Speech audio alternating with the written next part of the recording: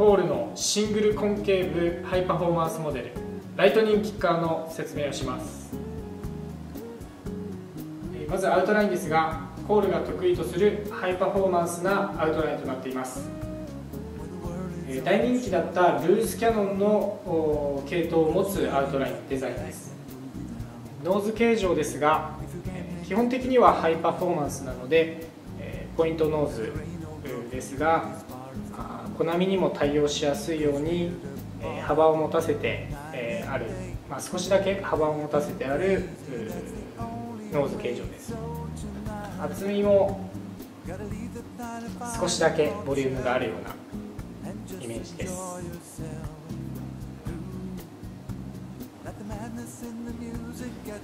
ノーズロッカーは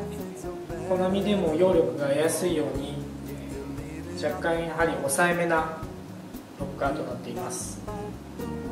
次にテールロッカーですがこちらもまあコナミ仕様で、えー、少し抑えめなんですけれどもカーブボールよりも少しリフトさせているので若干こうターンがより軽くなっているようなイメージです。テール形状は、えー、デフォルトがラウンドスカッシュテールです。角度のある瞬時の切り返しや、えー、ラウンドハウスカットバックみたいに、えー、荷重に強弱をつけなければならないターンでも失速せずに切り返せます。ダイヤモンドテールスワローテールなども相性いいです。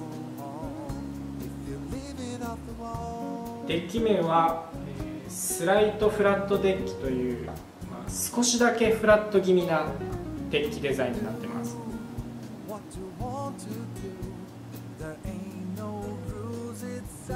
最大の特徴はボトム形状です。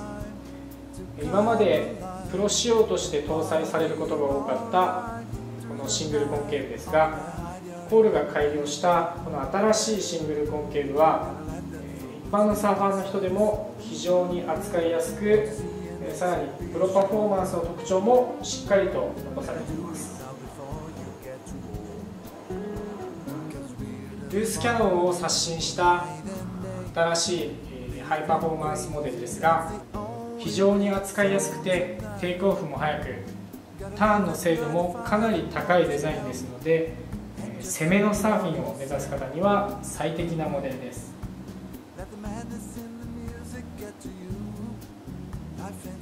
コールライトニングキッカーおすすめです。